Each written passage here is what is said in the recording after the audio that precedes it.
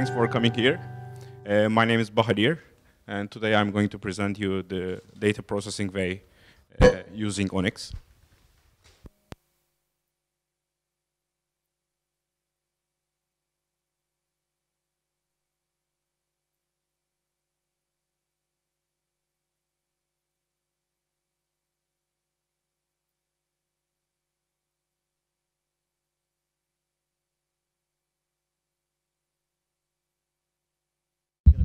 On.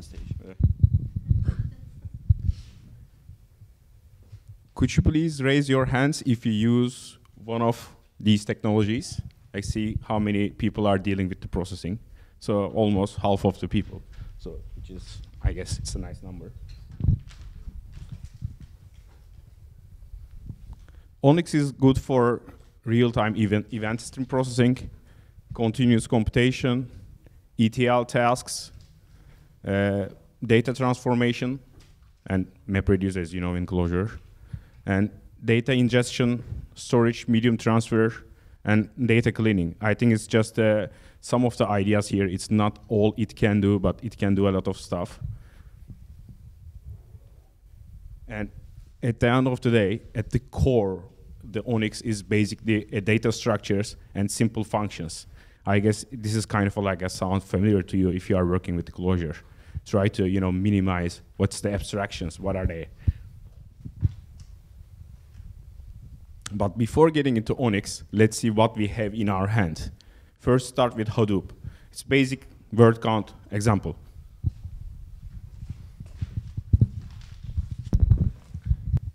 And if you can clearly see the, all the code that is necessary to do this task, it's quite a lot. It's just a word count. I don't know if you agree, but this is kind of the pain that is started in the distributed programming. Let's see another alternative, or it's kind of like an addition on top of the Hadoop stack. It's a cascading library. And here you can see that it defines pipes and flow definitions, and then executes the flow. It's, it seems to be much more simpler than the Hadoop's raw way. But look at the, all the imports. It's not exactly this code's imports, but still the amount of things or abstractions that you need to understand to execute very simple tasks, it's just amazing. So the pain point will be something like this, I believe. Like it's not a huge pain, but it's just it's just there. Let's get into the Clojure world. Storm has been introduced a couple of years ago by Nathan Marz, and I guess he's one of the most popular guys in the Clojure world. And he kind of defined the bolts and the topology and kind of uh, help us to do real-time streaming in a much more easier way. But take a, take a look at all the code that you need to, you know, wrap your code around that you need to define. You need to define it in a macro, and then you have like all these bolt and execute, and there's a prepare truth somewhere. It's just kind of a, a your makes your code dirty than it is. I mean, you can do the stuff, but are you really enjoying what you do? It's a bit tricky, right? It just takes time.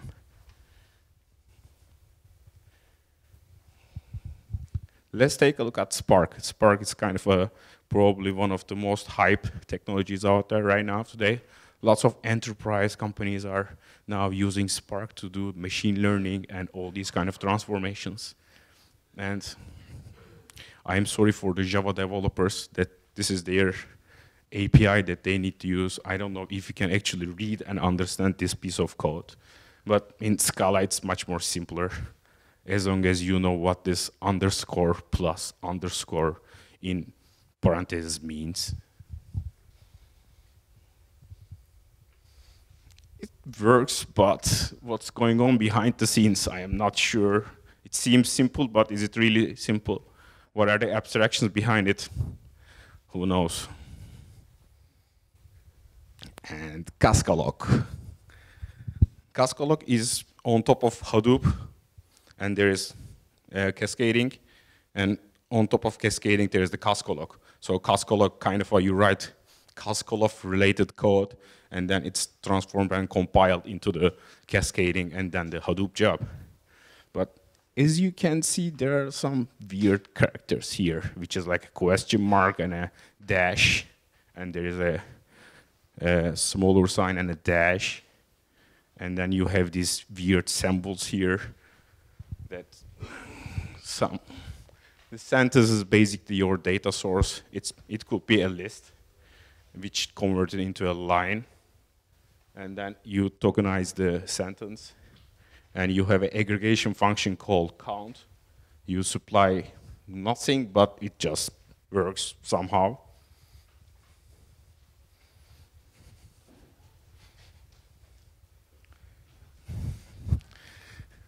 Don't get me wrong, I really like Cascalog, by the way it solves lots of problems that I don't need to deal with Hadoop or any kind of the other stuff that you already solve. But is it, is it easy? Is it fun to use? I'm not sure that you can do stuff, you can accomplish stuff, but the amount of knowledge you have to know beforehand, it's kind of staggering. And it just works is not a good answer most of the time that you know you need to understand when you write more and more code, the more complexity you put into your application, it, the more mess it gets. It's just a spaghetti in a different way. And during this presentation, like when I'm trying to prepare the presentation, I search for Apache Spark word count and saw MongoDB is actually advertising for Apache Spark. And as you know, MongoDB is internet scale. Let's give an example about the word count with MongoDB as well using JavaScript. I think there is nothing to say here. Let's get into Onyx.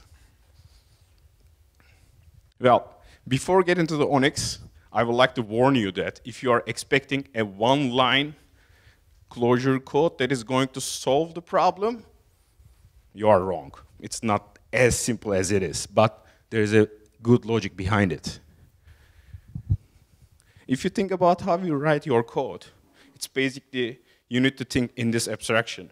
You have an input, and then you need to split this input, and then count the words in it, and you basically write it or somewhere. In Onyx terminology, it's called a workflow. So you define your workflow.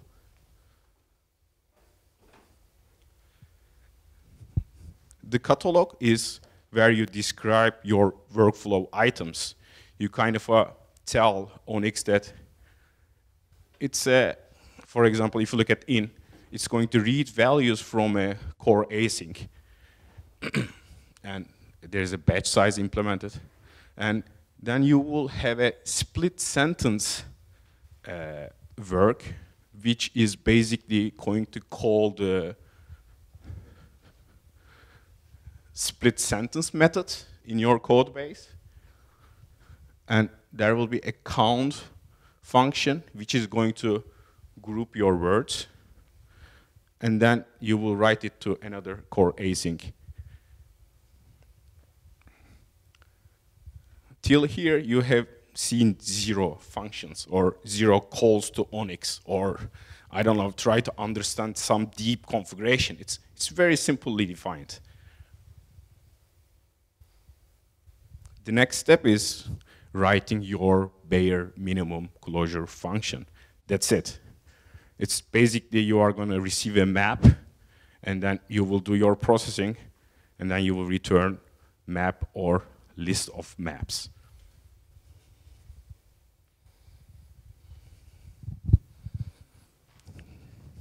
You can also put conditions between your workflow items and you don't need to declare it as within the functions or within the implementation.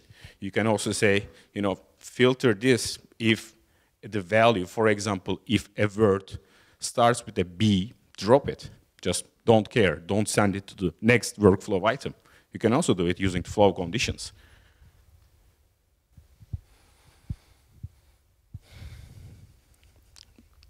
The next concept in Onyx world is windows and triggers. Windows, are Windows and triggers are a nice way to do calculations. So the Onyx uh, makers are uh, kind of like seeing the, where the industry goes and try to come up with a you know easier way to do calculations. So here is the example of the word count that we basically call Onyx on count function, as you can see on line 61. And the name of the, this window text is like a word counter. And the window key is based the, the event time that it's going to look for the event time key within the data that you are supplying, which is at this scenario, it's going to be always something empty, and which means that it's only going to be a global. So it's a global count. The trigger function, it's, it's a nice way to debug or like realize what's going on with your counting or aggregations. So in this scenario, if you look at the trigger on, it says segment. Segment is basically each param parameter or each data set you are receiving on your function. So here you say in every five elements, trigger this and call the method here dump window. So you can have a timer trigger, segment trigger like here, or you can have a punctuation trigger, watermark, and percentile. You can take a look at the documentation of Onyx, which is, by the way, one of the greatest documentations, I think. The next concept in Onyx is life cycles. Life cycles are a smart way to, to, deal, to deal with your, for example, connection pooling or feeding your data in your core asynchronous channels. So you may think also like a, a middleware where you kind of uh, ingest your data in and do, do, do the things that are not exactly related with your tasks, but things that are necessary. And at the end of the day, you have a job, and you have to execute this job. A job consists of all the things that I mentioned before. So you define your workflow, you define your catalog, you define your life cycles, windows, and triggers, and you give the one of the task schedulers, which is in this case a balanced scheduler, and you submit your job. Uh, by the way, please be careful about how many peers that is available on the cluster. If you don't have enough peers, your tasks won't be starting.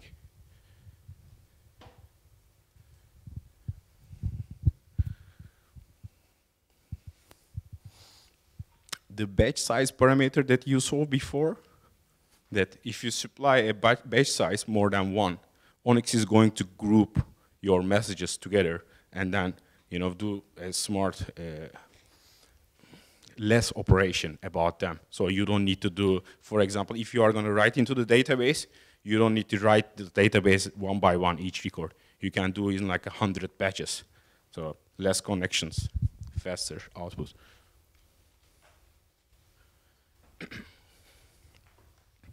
In the word count example, we were grouping the count by the keyword word. Here you can use a key, which in this case the group by key name. In our case, it's the word. And uh, another way could be you can you can call a function, and that function's output will be the the aggregation key.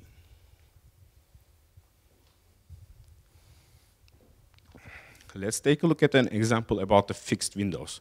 I think when you are doing aggregations, uh, it's one of the quite a lot of used things that, let's say, uh, how many registrations has been happened between the noon and the 9 o'clock, or 9 o'clock to 12 o'clock. Any kind of a fixed window that you want to have, you can do the counts based on data. And here we specify which key we are going to do the uh, time window here we use the event time. So our data should contain an event time key, and Onyx is going to take a look at that key and going to place that data in one of the buckets, and then you will have a count.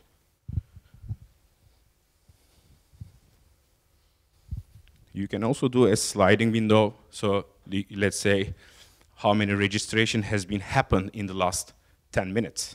And then one minute later, you can ask the exact same question. And one minute later, you can ask the exact same question again and again. So Onyx is going to do the calculation for you.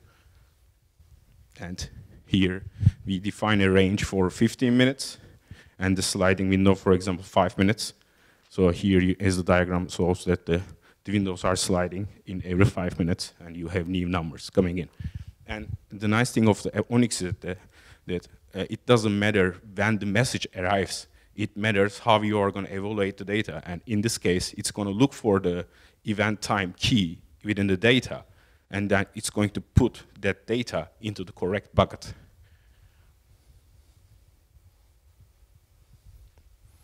And in, in our word count example, that it's a global count. So we don't care about when, the, when a word is arrived or not, or when the word has been realized. You know, we just want to count the word, how many times has it occurred. There is also a session window possibility about, as you can imagine, it's like a user session, and users are doing an activity between some time period, and you can see, you know, when these are like active uh, sessions available. It's one of the nice things, or nice features out of the box as well. So in word count, we do a count operation but that's not the only uh, operation that the Onyx supports out of the box. You can do also, you know, add segments, and then you can just debug or find out what are these segments. You can do sum operation, min, max, average, pretty basic operations.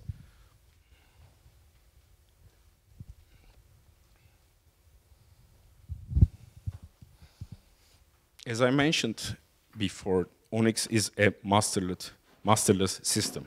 So there is no master that take care of all the all the things.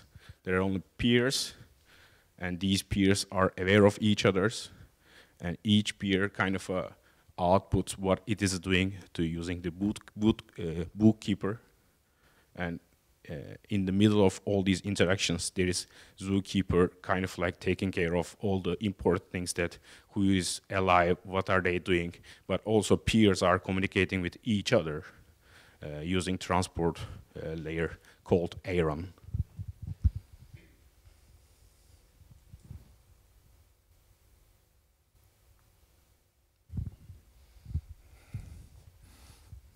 Peer is a node in the cluster that does a task. It, they can also refer it as a virtual pair as well. So you can think a machine as a, a peer, and in that machine there are like five running peers, which are at this scenario called virtual peers. There is the zookeeper in the middle, watch peers, and does a lot of stuff.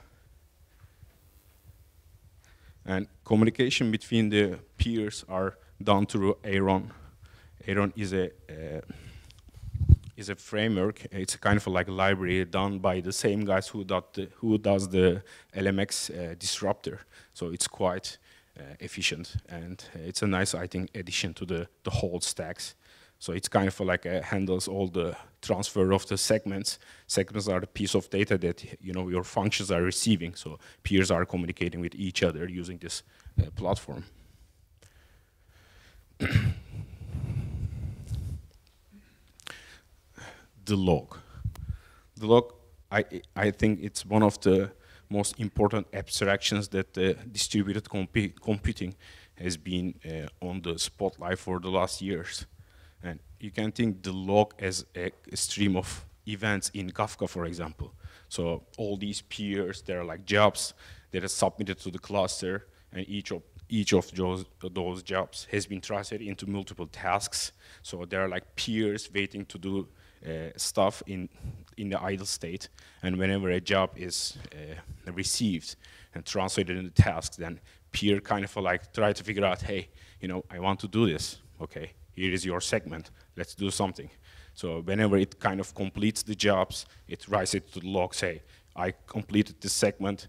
Here is the IDs. Here is what I did, and you can get a lot of information from this log.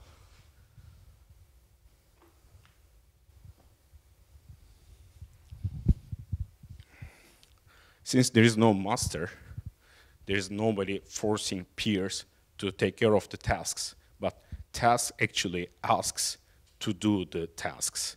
Like, okay, I am, I am, I am available right now. I want to do something. Here is a task for you to complete. there are different types of schedulers that is available. Uh, first one is greedy, that you know when when that job has been submitted, all the platform has been focused on that specific on this specific job. That's it. After that uh, after that job is complete, then the next next job could be complete. And there's also the balance and the percentage. I think it's pretty straightforward. You can also uh, define how the uh, tasks are going to be scheduled. As you can imagine that if you read a file, and if that file is containing like 10,000 of lines, each of those 10,000 lines should be processed, which means that there will be 10,000 segments, and all of these segments are going to be distributed into the into the peers. So it's very important that you do kind of like right selections on these uh, scheduling jobs.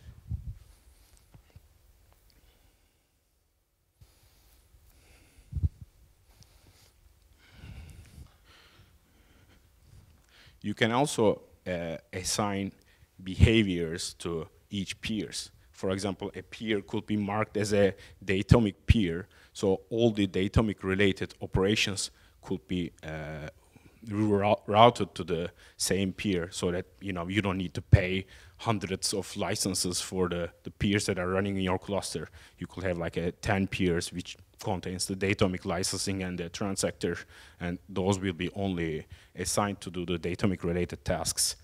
And you can also think about like a special hardware, like let's say like some of the machines has huge memory and you, you are going to do like crazy calculations you can tag those uh, peers as well.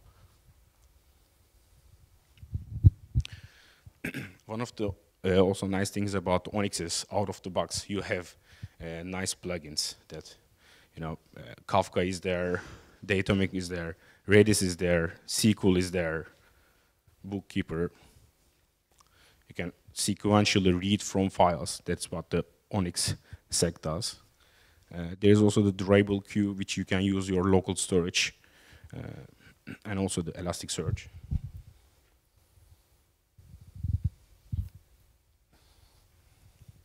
When you think about like distributed processing, you are probably going to work with the logs. Like there's some kind of a ID, and there is a, a, a kind of a data that needs to be processed.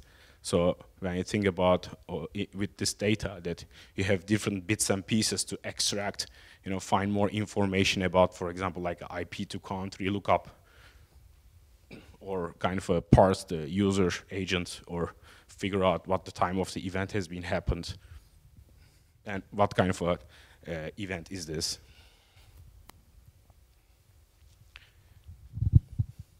So in this kind of a workflow, we we define the input. In this case, input was a file. And then we parsed the line. The, the, the left part was the here. You see there's a huge number which was, in our scenario, is a, a Kinesis uh, generated ID. And then we have the JSON payload. At the first step, we parse the line. After we parse the line, we parse the payload data from payload data to a special selector that we want we don't want to process everything. We want to maybe process some of it. And then from selector we can do uh, write our data into uh, Redis in this example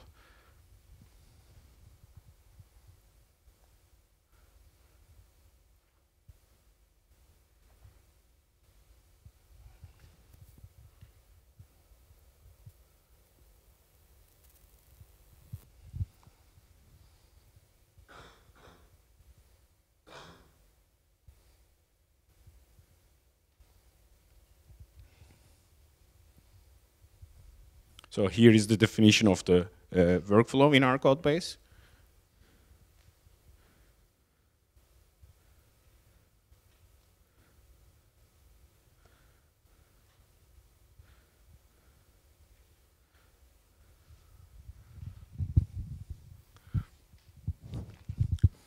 In this scenario, we are using the sequential plugin to read from a file. And it's kind of a type input we want to use checkpoint, checkpointing in this file.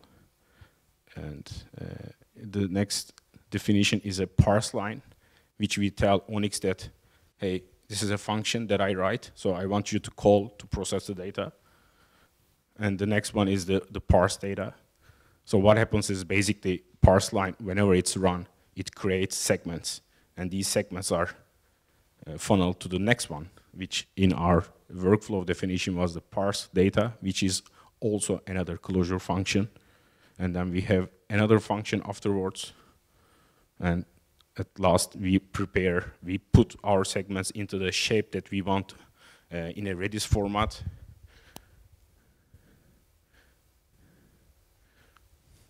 And write all the results to Redis using the Redis plugin. But at the same time, we can also use a, a core async to uh, uh, send that data to our core asynchronous channel as well. Let's take a look at what those functions are doing.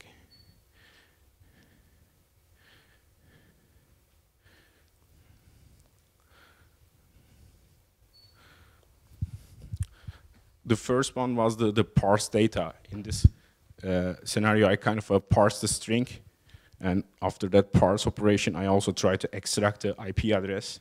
And within the definitions here, I try to extract as much as data as possible, or the ones that I really care about. And user agent parsing, URL parsing, and a country.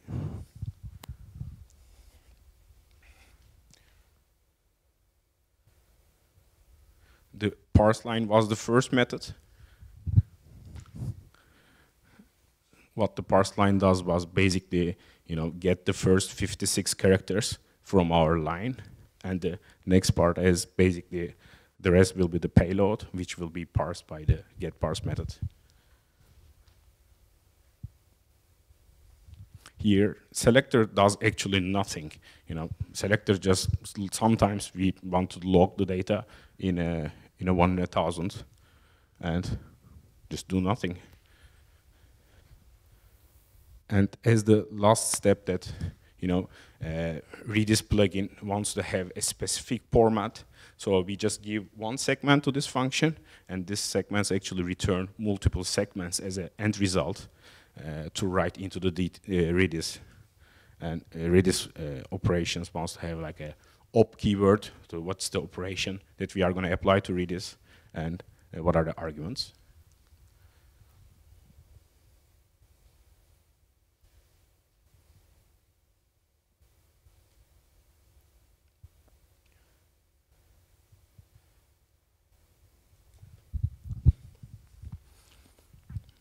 So we define the workflow of items, how the data is going to flow. But as I mentioned before, that you know we can use flow conditions to say if we are transitioning from a method to an, another, we can write a predicate to say, for example, if my payload, the event is a page view event, then you can navigate or you can put it to the selector. If not, the message will be dropped here is a nice way to, without you know, cluttering our code base, we can filter out stuff.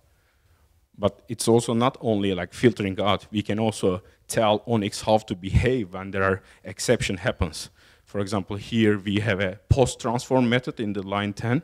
We say, call the substitute segment method and then execute it.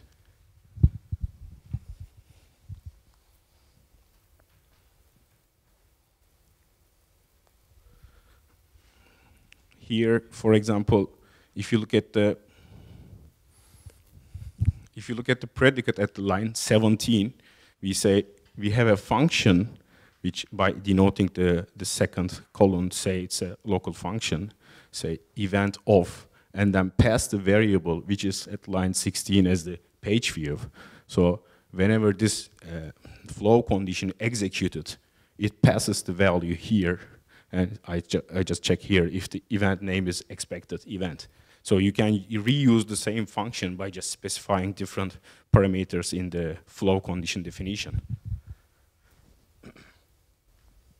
And here at the line 18, you can also use uh, and or not or uh, conditions in the just map definition to figure out if this flow condition is going to execute or not.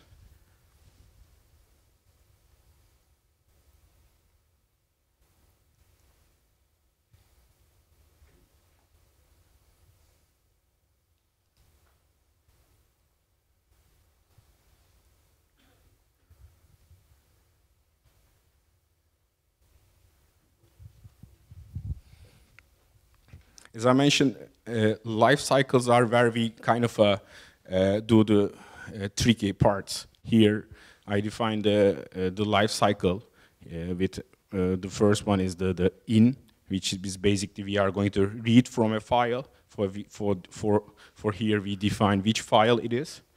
And then you say, okay, this is the right line definition at line 67 that uh, I just want to use the, the out calls and uh, all the tricky bits and pieces here uh, done at the upper parts, say before a task starts at the line 50, inject in the reader, so we are preparing the, all the core asynchronous, uh, core async channels related stuff to say, okay, start reading from here and then funnel to the next task. Onyx is going to take care before the task starts actually.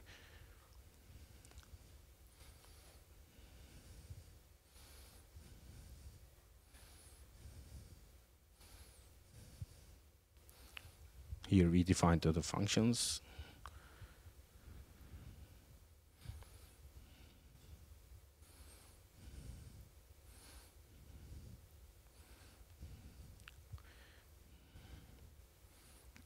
Sorry for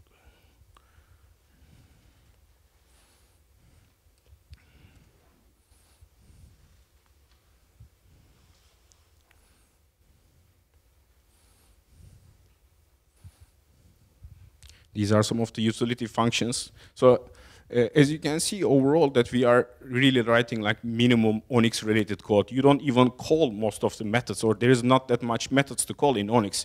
We are basically defining maps and lists and how these things are going to be combined together and then define the functions and then give this complete map to Onyx to actually run. I am trying to find out the actual executor.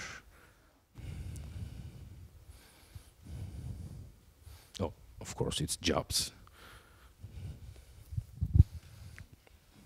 The starting job or executing job is combining everything together here at the line 28, starting from 29, 28, say, these, these are my workflows, these are my life cycles, these are my flow conditions, and all the windows that I want to execute and triggers, and I want to use a balanced. So Onyx, please does the job. And that's it.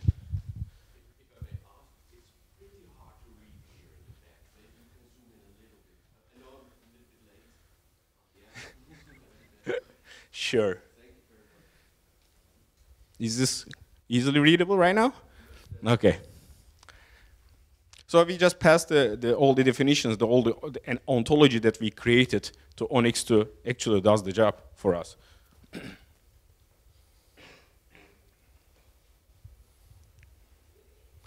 So here, uh, all these uh, in-memory catalog related at the line 23 that we try to combine all the, if it's, if it's kind of a, a, a, development task we want to use as the core asynchronous as much as possible. But in a production environment, we are going to switch, of course, like Kafka or you know, write it to the database. So we basically nicely switch over that if we want to use the core async related stuff, like as simple as possible in our local environment, or if we are on production, we can switch all these to back to normal default states.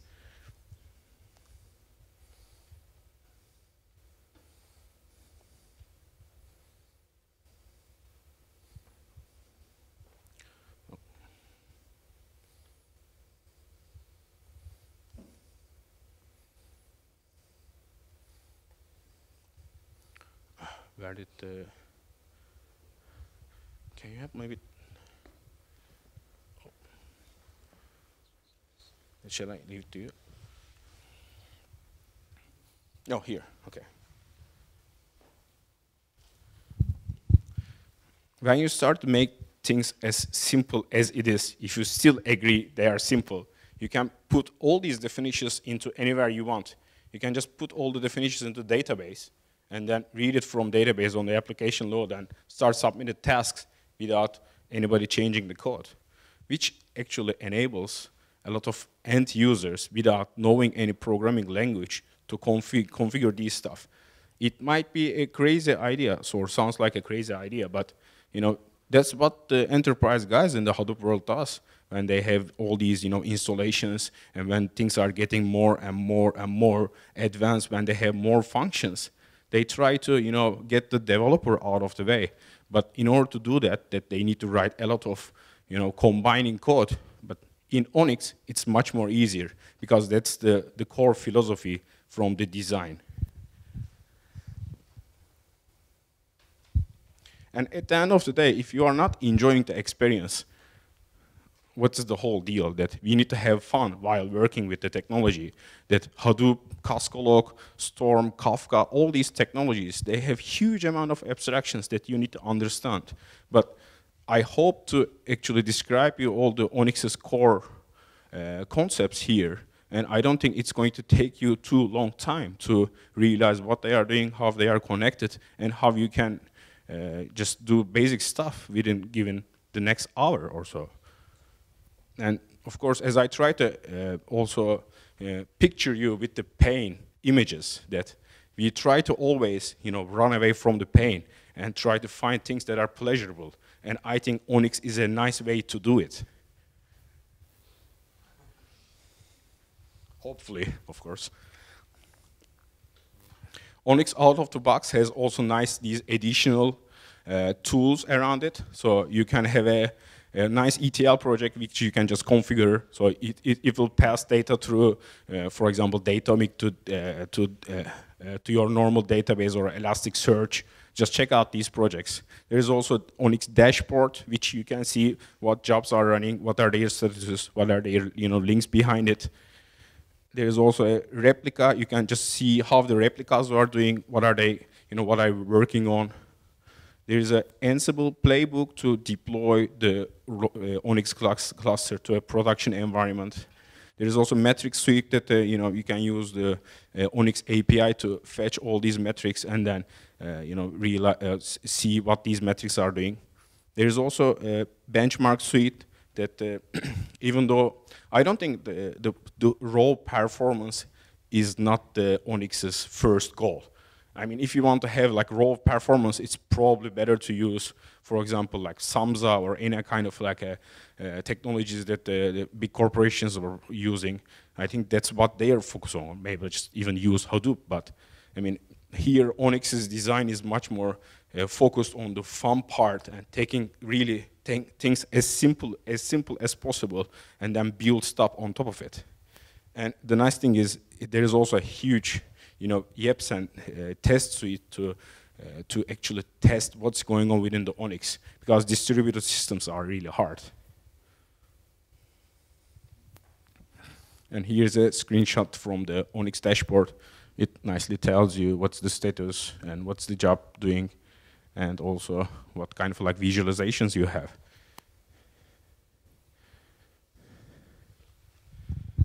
Let's say you are you need to uh, read a million database records. How does the Onyx does that? Uh, the Onyx uh, SQL, for example, uh, plugin uh, lets you specify what's the integer key and distribute, uh, partition all the data you have uh, to different peers and do this operation in parallel. Here are the couple of links that uh, you, can, you, you can use. I will definitely suggest you to start with Learn Onyx because it's a nice way, step-by-step -step progress to define you or make you understand what's the workflow.